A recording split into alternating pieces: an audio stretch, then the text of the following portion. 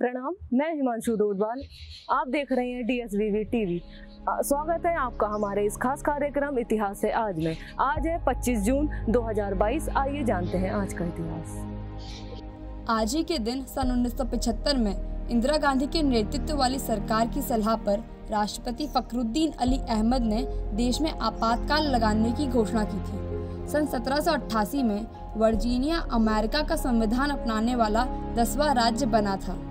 25 जून सन 1908 में देश की पहली महिला मुख्यमंत्री सुचेता कृपलानी का जन्म हुआ था। साथ ही सन 2005 में ईरान के राष्ट्रपति चुनाव में अति कट्टरपंथी माने जाने वाले महमूद अहमदी निजात की जीत की घोषणा हुई थी।